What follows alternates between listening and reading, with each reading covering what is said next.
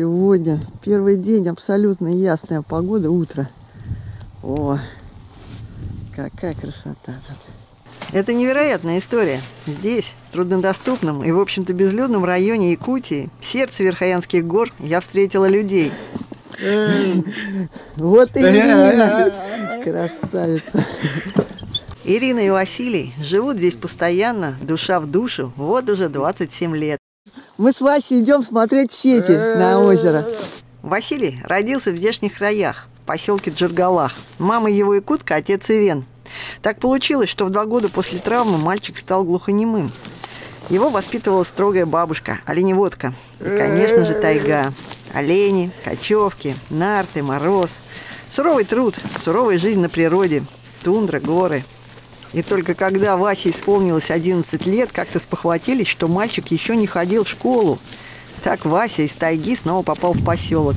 Каково же ему было там страшно и непривычно. Но постепенно он освоил и при мудрости русского языка и более-менее выучился и поехал дальше на учебу в техникум в Санкт-Петербург. Тут-то они и встретились с Ириной, которая случайно в тот момент гостила там у сестры. А, Хариус, ага. Молодые люди нашли друг друга. Скоро будет 31-я годовщина их свадьбы. Ага. Маленький голец, ага. Вот тут уже сети с помощью шестов заводятся. Тут поглубже, тут, наверное, улов. Покрупнее.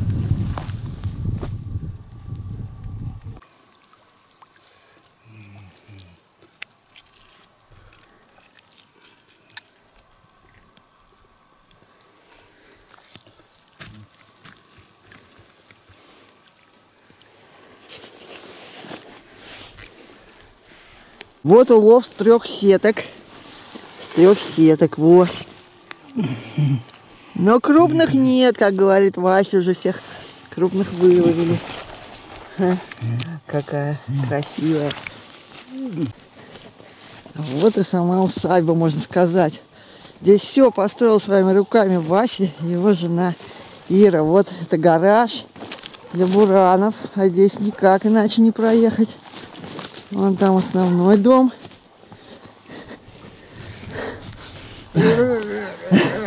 Во, Вася, рукодельщик. Все своими руками. Все построил здесь. А здесь одежда хранится, и здесь и банька, чтобы собаки не погрызли.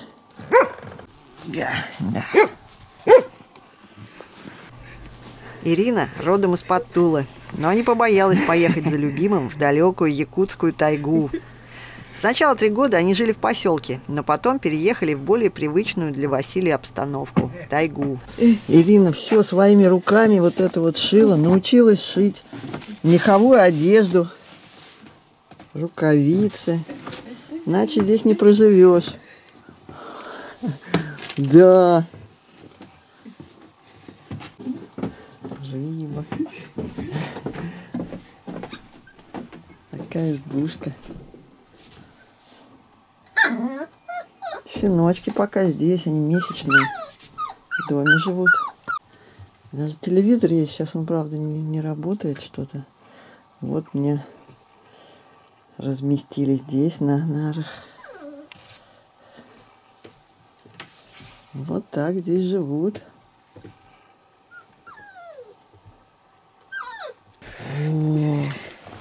О, Своими руками, да?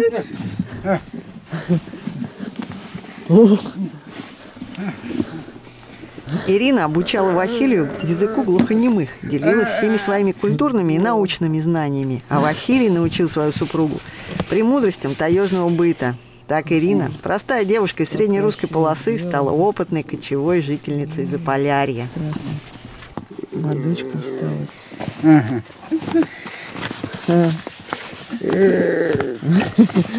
Ну вообще, мастер на все руки. Вот это все инструменты для выделки шкур, для выделки, обработки. О, ух ты! Да, вот такой я у Чукчи видела, только костян... не костяной, а каменный. Ух ты! Вот это да! А -а -а. И вот Ирина все это сама освоила. Надо же! Ух ты! Вот это да! Ага.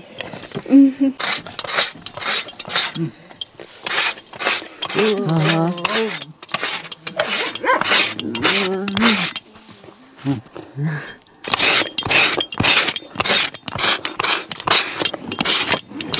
О,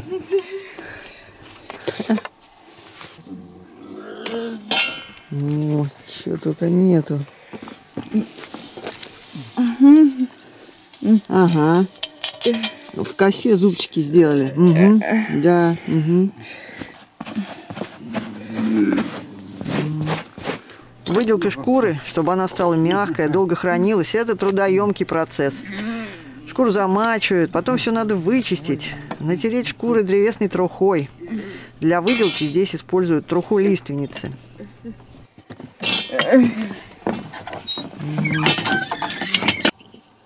А вот сюда просто вот можно камень вставлять и тоже выделывать. Ух, штаны какие! В таких не страшные морозы.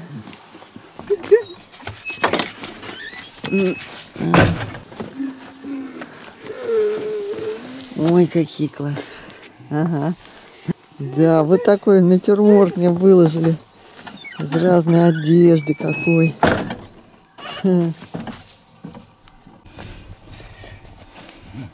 Ага. Внутрь турбасов вставляются носки меховые.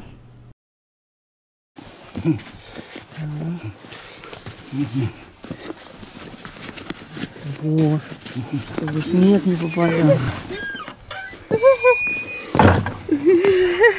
Ага.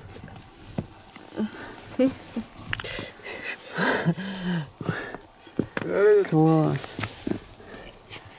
А это старая какая-то кожа. Ну, какая подошва, каким толстым нитками это сложно прокалывать. Ну вот делают. Все самодельное. Вот какие здесь самодельные хлеба. Даже есть лимон, угостил русский рыбак, как сказали, с озера. Вот это гриб, который Ирина привезла из Тулы 20 лет назад он уже здесь живет. Вот так вот. Еще вот там есть. Во. О, грибы. Печка. Вот здесь эти хлеба пекутся. Вон там он. Из бочки сделано. Пять штук улезает. Ага.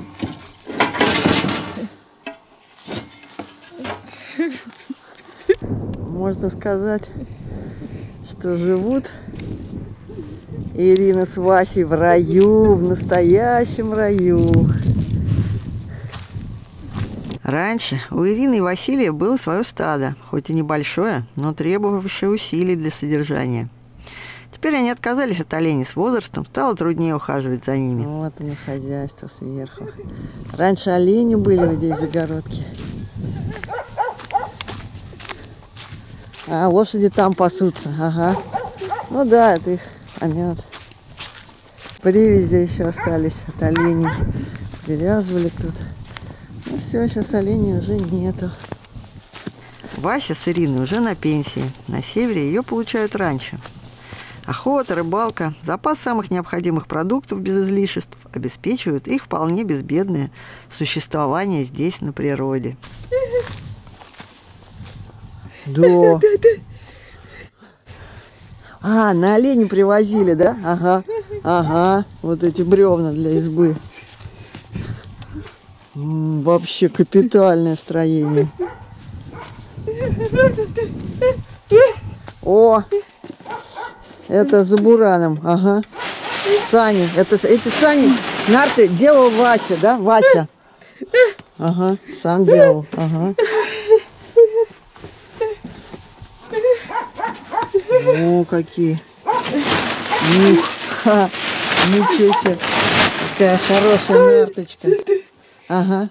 А.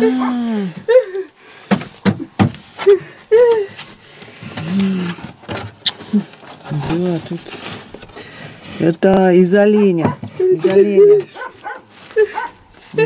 Угу. Крепкие очень, да. Угу. Все выстругивали, сами вытачивали. Да.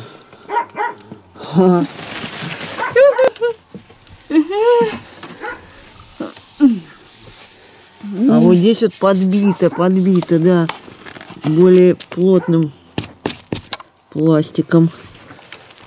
На лентах. Ой, тут современный пластик граничит с металлом и деревом. Раньше, когда Ирина с Васей были помоложе, они несколько раз совершали длинные и длительные по времени переходы. Вдвоем кочевали на оленях, на нартах, в гости к Васиной маме, в Тикси. Это больше тысячи километров без дорог, по заснеженной тайге и тундре. Сколько приключений было на пути. Это тянет за бураном, да, ага. Здорово. Вот эти маленькие, они для... Это олень, олень везет, а большие это буран. Да, большие тяжелые. Ага, понятно. Ирина проводит мне экскурсию по, участку. Их вот там вода не набирают. Вода. Ага, там купаться можно, да. Стирать. Ага, ага. Вон тропинка туда ведет.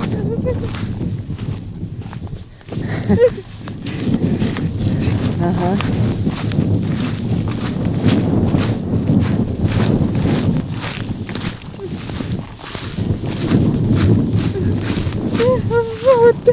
О, она что-то пересохла. Ага. О, Саша! Да, сейчас была жара, и воды не стало. Да, понятно. Отсюда брали кусок дерна и на крышу клали, да? Вовсе. Ага. Прям, прям тут ягоды растут. Их сейчас везде много. Голубики. Ага. Да. Все под руками. Само растет. Это рыли яму, потом набрасывали камни. И вот получается фундамент. Ха.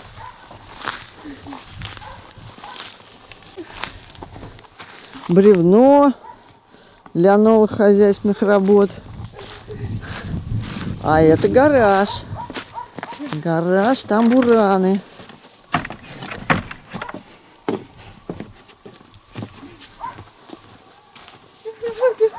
Дров, дров много надо на зиму. Да. Ну, это сломанный старый буран. Вот тут всякие полы.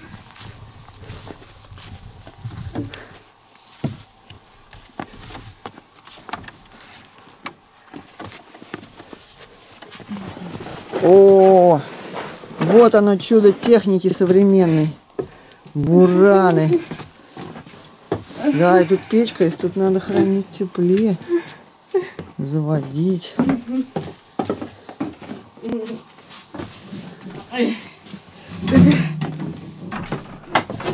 О, и сюда он выезжает. Вот такой гараж. Связь с внешним миром тут только лошади да бураны. До поселка 160 километров по долинам и горам, через перевалы. Раз в два года Василий с Ириной делают запас продовольствия. Это целое дело. Покупают и везут продукты из Якутска. Так намного дешевле, чем в маленьких якутских поселках, куда продукты в магазины доставляют авиацией. Снаряжают маленький караван из буранов, везут 800 литров топлива несколько мешков муки, сахара, сливочное масло в коробках. И ты умеешь водить?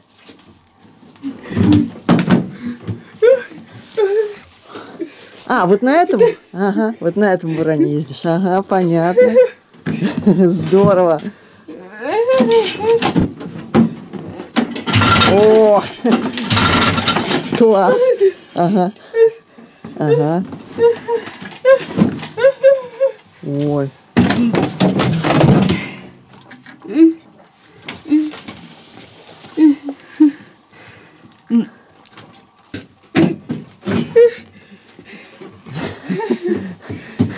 Простое управление. Вперед, так назад. А как заводить? Понятно. Ну, был бы снег, может быть, прокатились да? Ага. На гусеницах. Этим бураном Вася управляет. Да, серьезная техника. На высокие горы может, на, на горы залезать, да? На, на крутые горы может заезжать. Когда холодно, чтобы завести, надо топить печку. Согреть мотор. Обито шкурами для тепла все. Да. И здесь он тоже шкурами проконопачен. Старая избушка стояла прямо на берегу озера. Но там, как не топили, зимой она продувалась на ветрах. Новую избу построили уже здесь, поглубже в лесу. А потом срубили и несколько хозяйственных построек. Это? Спать здесь? А, здесь шкуры. Шкуры висят, чтобы они не портились, они здесь хранятся. Ага. Олень. Ага. О. Это постели, зимние постели, да, спать на них. Ага. Вот так спокойно и живут на природе Ирина с Васей здоровой жизнью предков. Такие пушистые ивы. Вот этот, как его? События неожиданным спо... неожиданным образом разворачиваются. Мы едем на Этот озеро. конь, этот конь хороший конь. Хороший конь, вот мы едем. Хороший. Мой, мой дикий. Федор Мой меня на... мустанг.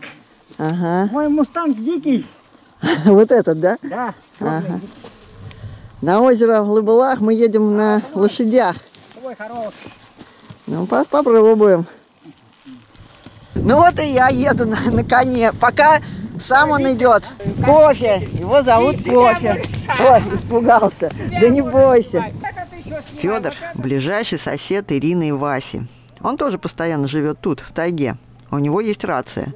Правда, сейчас она сломалась. Еще в здешних местах кочует оленевод Туян. Только у него есть спутниковый телефон.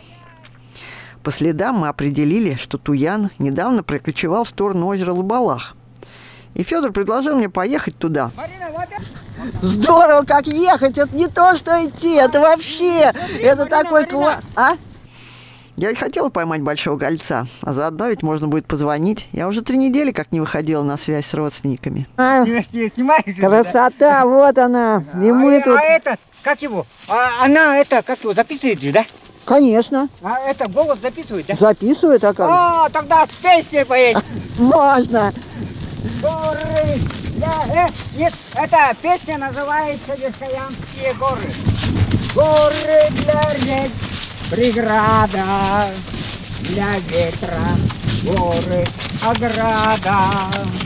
Облака отдыхают в горах, а для горца горы родная земля. С высоких гор Верхоянского хребта Начинает свой рассвет река. С высоких гор Верхоянского хребта Начинается моя земля. Летом здесь пастбище оленей, и палатки кочевых Радостный смех играющих детей, Веселые улыбки взрослых людей. Высоких гор Верхоянского хреста Начинает свой рассвет река. С высоких гор Верхоянского хребта Начинается республика Сахал. Чистые озера, реки и леса Сохранить нам надо на долгие века. Жить и развиваться в гармонии с природой. Работать и учиться на благо людей. С высоких гор Верхоянского хребта начинается, начинается моя страна. С высоких гор Верхоянского хребта начинается Родина моя. Начинается Родина моя, начинается Родина моя. Все, песня закончилась. Класс! Это песня собственного сочинения Федора. Вот здесь, которые приезжают, да, э, вот, вот такие, э, рыбачат же вот здесь. Сейчас мы едем куда? В Балахты, да? Да, Вот там они рыбачат, приезжают же. Федор – это тоже удивительный человек.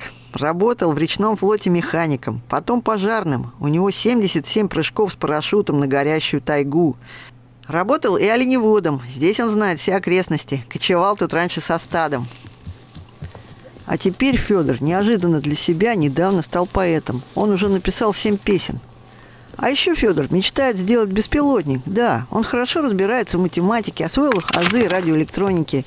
Ведь речном он уже учился на дизелиста, так что в технике разбирается. Я что задумаю, меня обязательно исполнится, уверенно говорит Федя. Здесь, в тайге, ему не хватает только книг по радиоэлектронике со схемами. Вот это избушка Федора. Его называют русский Федя. Хотя он по национальности Ивен, местный. Просто четырех лет воспитывался. Ага, в детдоме. Когда вернулся в тайгу, по-якутски не мог говорить, забыл. Ребята над ним смеялись. Он был маленьким, щуплым, но парень занялся боксом и добился неплохих успехов. Теперь Федор на пенсии, живет здесь уже давно, больше 20 лет. У него два коня, и на них он изредка выбирается в поселок. На плохих участках мы сходим с коней и ведем их по воду. Камни. Приближаемся к перевалу. Но еще далеко. Еще далеко. Здесь тундра уже. Вон оттуда мы едем. Вон оттуда.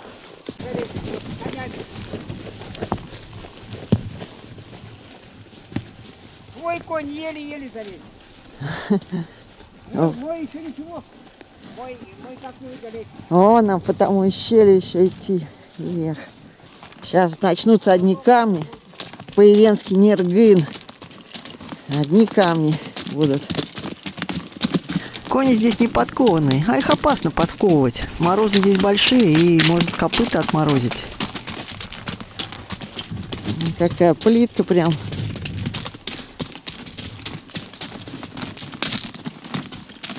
О, каменное ущелье.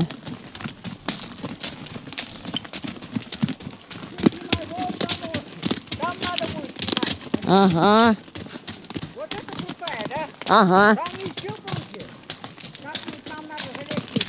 Еще круче. Ничего, залезем. А вон тропа.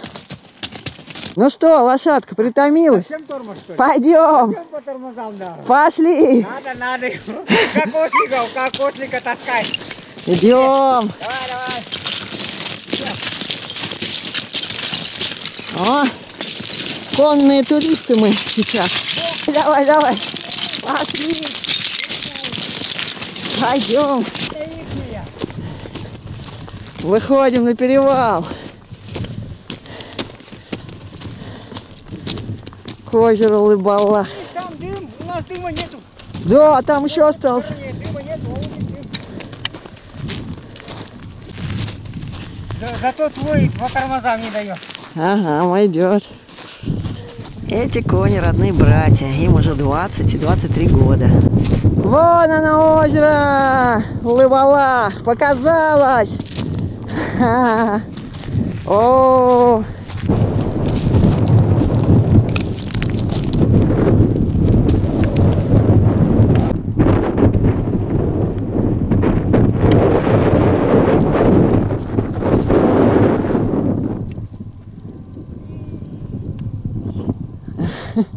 Боится.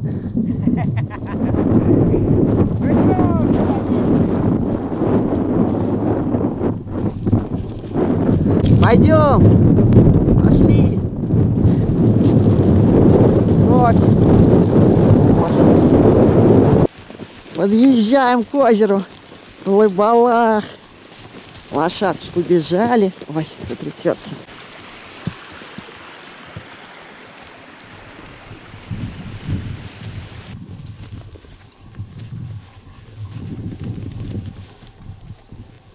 Вот оно озеро.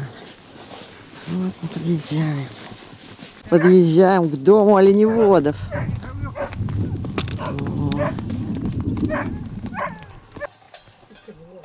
Хозяин, оленевод Туян, ушел искать отбившихся оленей. Мы будем ждать его до вечера.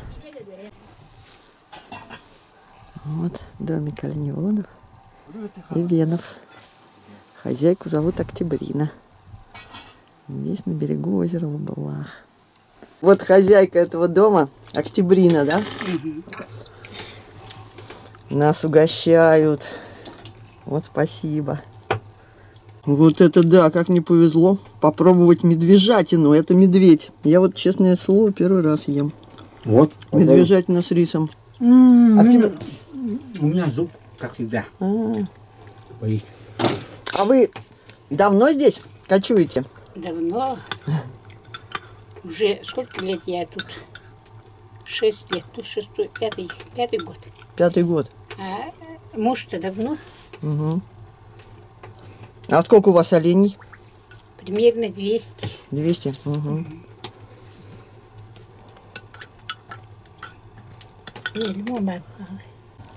Прям отдает. М, Совсем маленькая, э, мягкая. Жир какой. Мгм. Жир, жир, Не жир. знаю, медвежатный или но такой дичиной прям отдает. Ой, вот это да. Часто у вас бывает такая добыча? Медведь. Редко. Редко, да? Не, редко. Угу. Чаще, наверное, бараны, да? Барана. Вот это здесь в хранилище медвежье сало. Вот какое толстое, толстый он палец. Ага. Да. Три пальца. Угу, три пальца. Это была медведица. Ага. И вот вялится тут. Просто. ага. Вот такое хра- хранилище. Это, это, это, это, как его, кухня. А, кухня. Ну там вот и мясо хранится.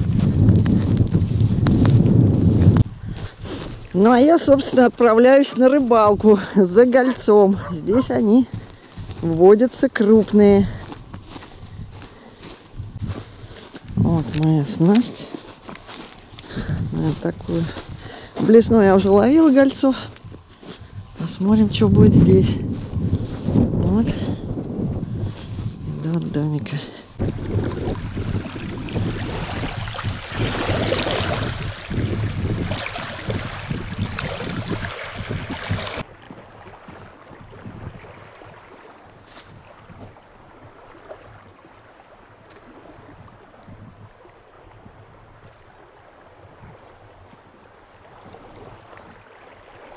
Первый заброс. Не знаю, что будет.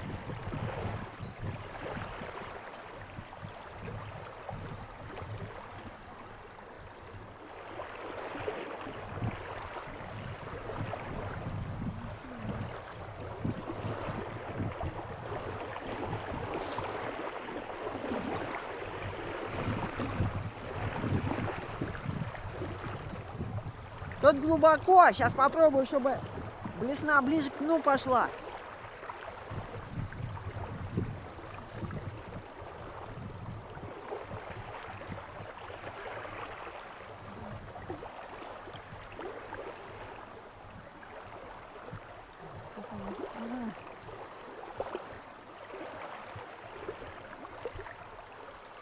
Коробочка. Не хочет на камеру.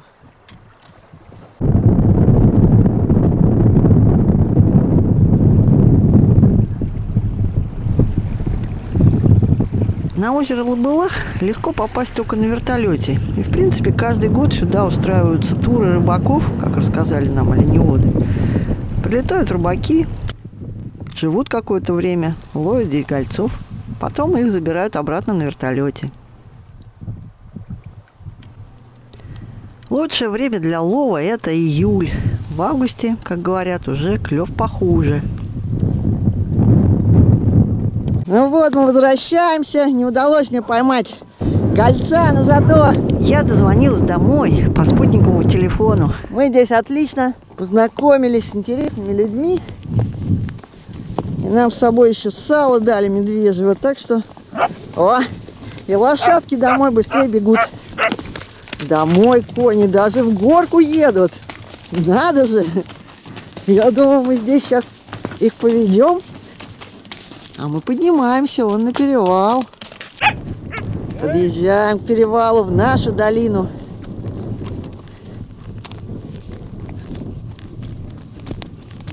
Поправляем седло мне. Вот. Стоим на перевале. Что, красавец, конь-огонь. Закат скоро.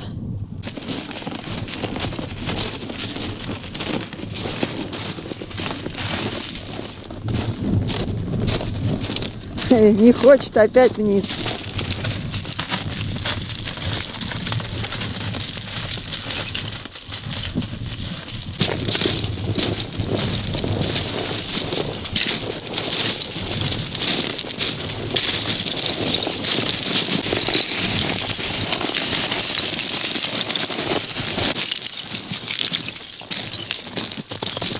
Да, в этот день мы припозднились и вернулись домой на озеро только в полной темноте. С утра мы идем на озеро Кимпече. Тоже здесь Вася ставит сети на этом озере. И снова погожий денек, нет дыма над головой.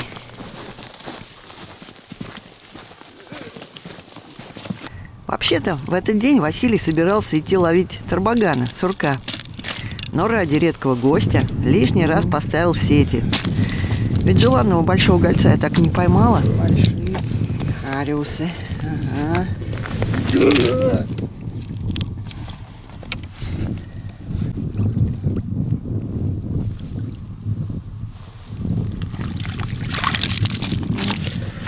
Крупный хариус. Ага.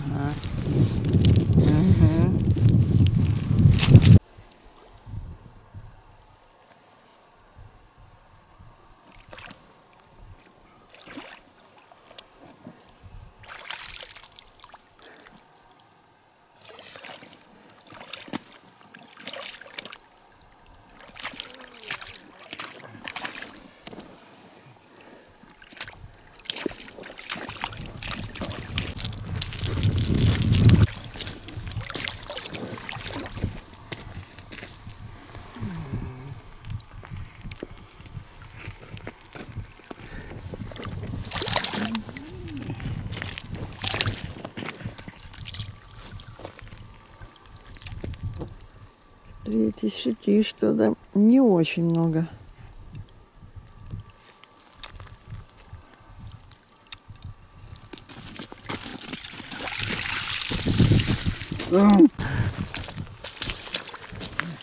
О, о, это голец.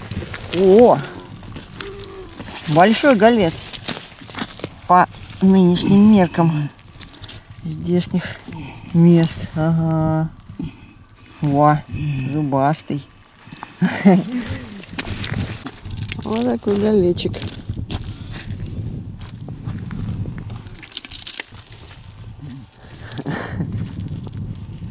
Это Вася для меня выкладывает, чтобы показать улов, чтобы я сняла. Так-то он, конечно, так не делает. Просто ловит. Каждодневная работа. Красивые, да. От Василия я узнала интересные сведения про рыбу. Например, он уже по внешнему виду брюшка определяет, худая рыба или нет. И рыбу, которая не очень нагуляла жир, скорее отдаст собакам.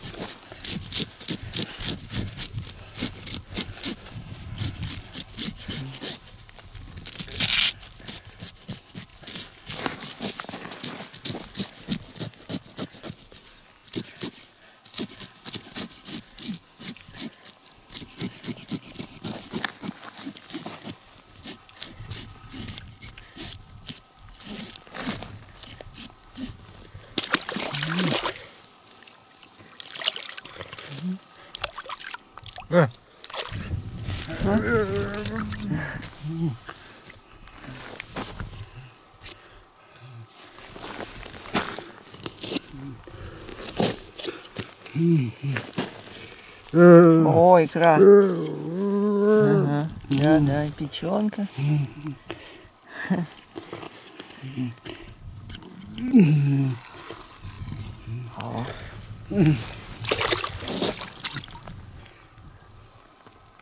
Э, Прям сейчас?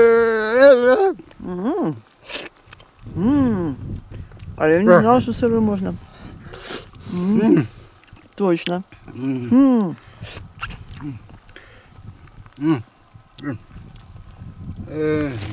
Ну да, это печенка. Это жарить. О, Прям так? А там нет этих? А этих нету там? э, Червяков нет? э, Белый это тот самый рыбий жир. э. Надо же. Э. Мгм. Снимается этот Э. пузырь желчный. А вот печенка.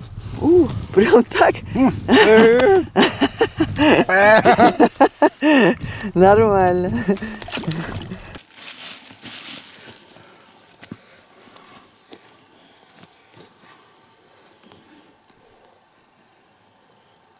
Все, рыбалка закончена. Возвращаемся. Речка, которая вытекает из озера Гибала и Печи. Вот она тут такая мелкая. Сейчас. Ну, по ней можно сплавляться туда дальше. Вниз.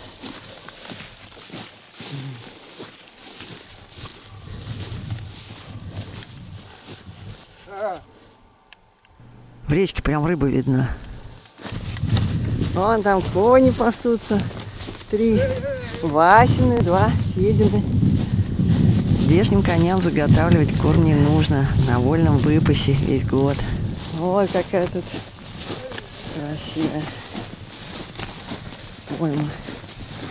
Вот и заканчивается мой отдых у гостеприимных хозяев. Хорошо, что ты э, это, да, с маршрута не сошла, да? Да, и так сошла же. Ну как я? Я не сошла, я пришла в Ну, гости. по маршруту пришла. Конечно. А сегодня вот седлаем коней и Федя меня провожает обратно в сторону, где лежит моя лодка. Вот Вася и Ирина меня провожают. У него вроде кру-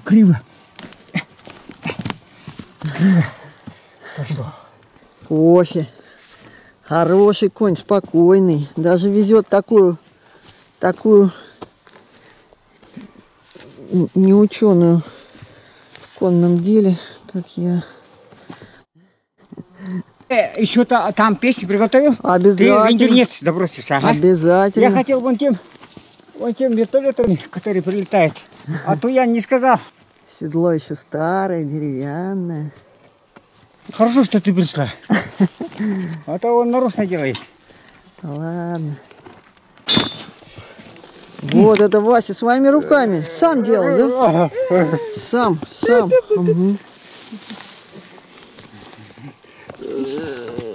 Ремешочки такие кожаные.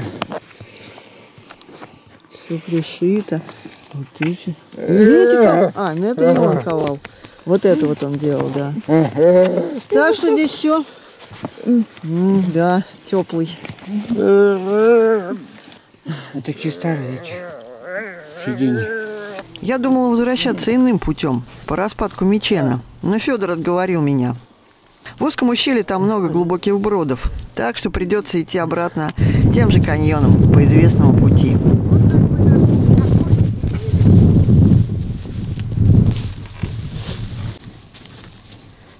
Сегодня горы снова в тумане приволокло что-то. Дым, не туман, а дым. Не такая видимость, как вчера заволокло.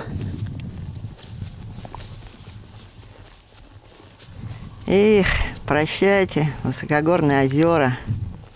Здесь, недалеко от места перевала, Федор по традиции оставляет приношение духу охоты Баянаю. Мы увидели баранов, еще с собакой гонит. Вот. А мяса-то у нас нету.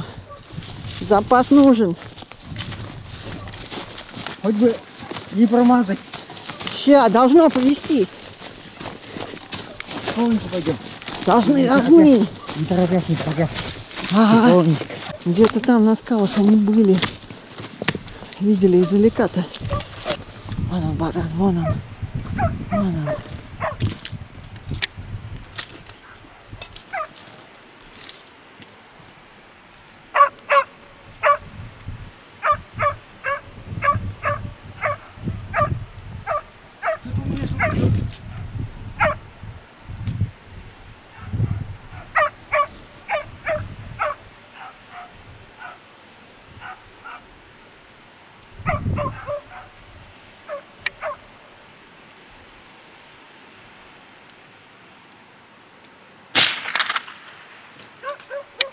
Стоит. Не уходит, не уходит. Он его хорошо держит. Так, еще надо. О, вниз даже идет.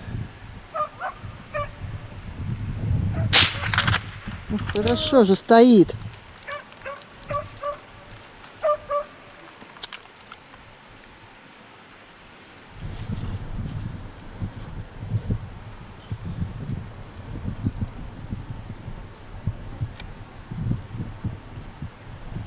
Сердце, А, да. чтобы это, не мучилось. А, молодец, хорошо, да, попал. А я... Э, Тихо, тихо. Все, сейчас разделаем. Разделали, вставляем. Обратно пути Федор А соберет. теперь мы камнями. Ага. А, нет, ты снимаешь, да? Тозовка вот такими Мгм. патронами, легенькими. Даже, даже медведя таким убил. Да, медведи. Я в прошлом году медведю стрелял. Мгм, надо же. Можно с А с одного раза еще, между прочим. С одного раза. С одного раза? Да, с одного Ничего себе, раза. подуха, да? Подук, э, не подуха, а так, ну, подуха, можно сказать так. Ага.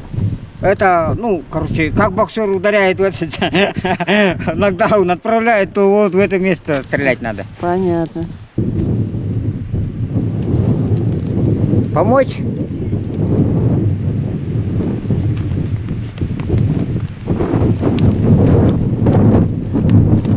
Вот сюда, вот сюда, вот сюда, вот сюда. Сю- Сюда, сюда, сюда, сюда, сюда. Сюда ты тяни. Федор проводил меня до последней зоны леса. Вот здесь вот мы ночевали под лиственницами. Какой последний? Уже осень же. Вот здесь. С утра Федор уже коней поймал. И сейчас отправится в обратный путь. А я пойду на перевал. Обратно к своей лодке. Все, осень уже совсем холодно ночью сегодня было. Ну, а скоро холодно будет. Еще холоднее, да? Люди, любящие небо, создают корабли, похожие на птиц, экипажи, знающие небо, управляют кораблями. Повзрослев мальчишка, будет он летать, просторы России станет охранять, помня богатырей былинных, любя красивых железных лебедей, помня богатырей былинных, любя красивых железных лебедей, люди, любящие небо, создали корабли, похожие на птиц, экипажи, знающие небо, управляют кораблями. Конец песенки.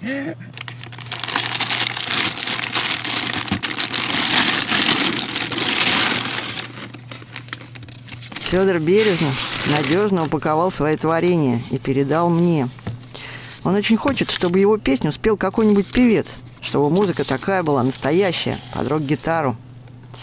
И вот они, написанные тщательным детским почерком, слова этих песен.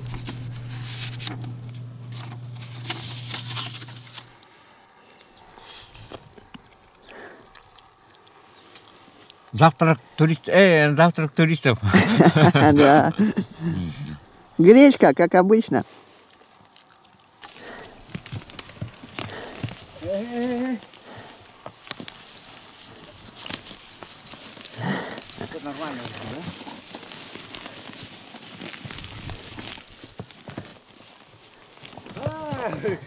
Счастливо, Федя.